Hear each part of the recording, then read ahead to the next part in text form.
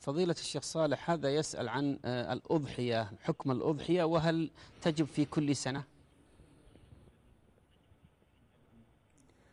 الأضحية شعيرة عظيمة ونسك.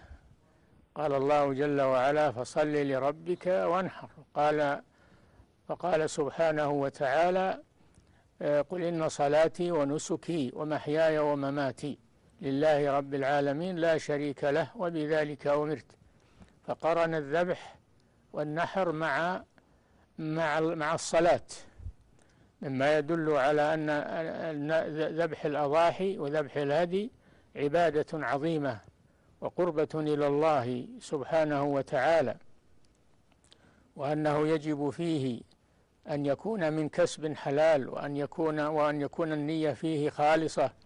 لوجه الله سبحانه وتعالى وأن ينفذ فيه قول الله فكلوا منها وأطعموا القانع والمعتر فهذا هو من فضل الله على عباده في هذه الأيام المباركات.